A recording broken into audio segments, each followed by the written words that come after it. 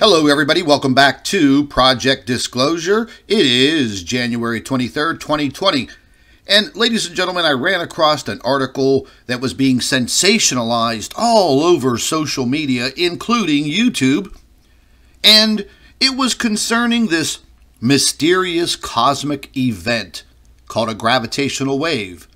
And it was supposed to have impacted the Earth on January 14th. Well, folks, we're all still here, and this gravitational wave is still being investigated. So let me give you the disclosure on this. A mysterious cosmic event might have ever so slightly stretched and squeezed our planet last week on January 14th. Astronomers detected a split second burst of a gravitational wave, which is a distortion in space time, but researchers do not know where this burst came from.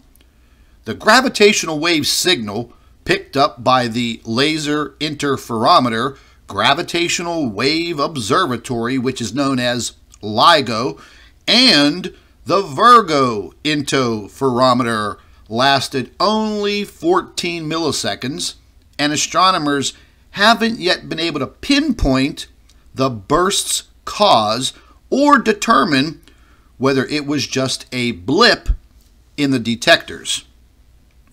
Now, gravitational waves can be caused by the collision of massive objects, such as two black holes or two neutron stars. Astronomers detected such gravitational waves from a neutron star collision in 2017 and one in April of 2019, and that is according to new findings that were presented at the meeting of the American Astronomical Society on January 6th, 2020. Now, gravitational waves from collisions such as massive objects typically last longer and manifest in data as a series of waves that change in frequency over time as the two orbiting objects move closer to each other. The new signal was not a series of waves, but a burst. One more likely possibility is that this short lived burst of gravitational waves came from a more transient event such as a supernova explosion, and that is the catastrophic ending of a star's life. Now, indeed, some astronomers have hypothesized that this could have been a signal from the Betelgeuse star, which mysteriously dimmed recently and is expected to undergo a supernova explosion. But the Betelgeuse star is still there it's not that scenario. It's also unlikely to be another supernova because they happen in our galaxy only about once every 100 years.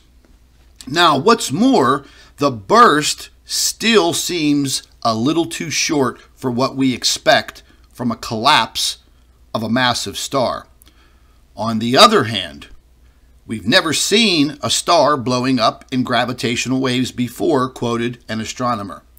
So we don't really know what it would look like.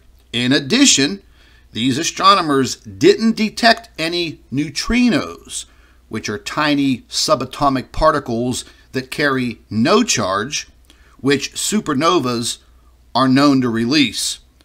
Another possibility is that the merging of two intermediate mass black holes cause the signal.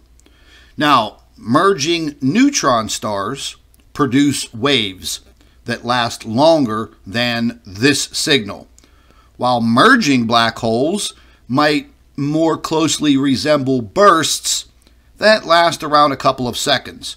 However, intermediate black holes merging together might also release a series of waves that change in their frequency. Now, LIGO came across this signal while specifically looking for such a burst, but that doesn't mean that is what it found. It is also possible that this signal was just noise in the data from the detector. But this burst of gravitational waves was found by all three LIGO detectors, one in the state of Washington, one in Louisiana, and also one in Italy. So the probability of the LIGO detectors finding this signal by chance is once every 25.84 years, which gives some indication that this is a pretty good signal. There could be other explanations for this mysterious burst, and for example, a supernova could have directly collapsed into a black hole without producing neutrinos, though such an occurrence is very speculative. Astronomers are now pointing their telescopes to that region to try to pinpoint the source of the waves. The universe is always surprising us, ladies and gentlemen. There could be totally new astronomical events out there that produce gravitational waves that we have not thought about and certainly not seen yet. And that is your exposure and your disclosure.